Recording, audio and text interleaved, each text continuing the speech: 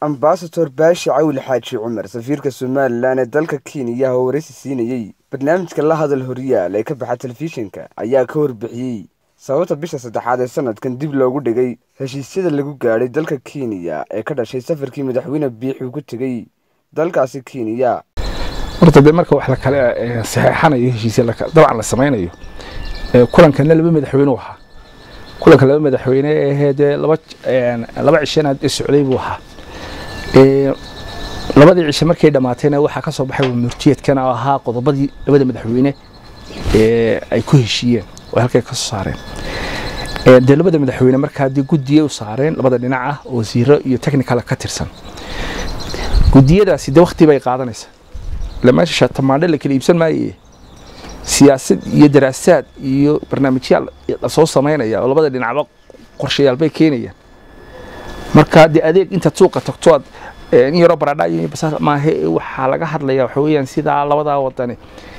Danahii wadankani watay iyo kii somalilan watay iyo kii kenya watay laysu waafajin lahaa. Wadan waliba markaa uu wuxuu ku habiyahay halkaa uga soo bixi lahay. Marka negotiationka iyo wadahadalkaasi weeye horta sababta dee waktigan loo siiyey shaqaduna way bilaabmaysaa imika sanadkan markuu sanadkan cusub aynu galle maanta wixii ka dambeeya hawshu way bilaabmaysaa marka fasaxyada laga soo noqdo. Midda labaad ee dadkeenu iskaga khaldan waxa weeyaan waddanka kenya la yidhahdaa inta badan financial yearkiisa ama bad sida u waxay la qaateen waddanka systemka waddanka ingiriiska oo ah budgetku wuxuu dhammaataa march dabayaaqadiisa. Oo budgetka sanadka cusub ee abril buu bilaabma halka innaga imika december ku dhammaato january markaa sanadku bilaabmo. Iyagu miisaaniyadooda waxay dhammaataa march january markaa abril bay la bilaabantaa miisaaniyadda cusub. Sababta wasaaradda khaarijigu tiri xafiiska waktigaa ugu beegtay march na waa taa weeye ma aha inay doorashada dadka baan arkii lahaa doorasho xamari iyo sheekooyinkaa keenayay wax alla wax ka jira ma jiraan. Waa simply waxa weeyaan wasaaradda arrimaha dibadda kenya budgetkeedu wuxuu ku egyahay kii sannadkii hore la approve gareeyay march to march weeye.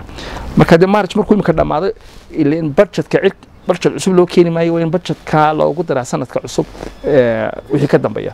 Markaas waa sababtaasi waktigaa loogu beegay waanu furmayaa oo dawaataa qoraalka labada madaxweyne ku soo baxeen. Taasun maaha waxyaabo badan oo kale aynu jecel lahay inay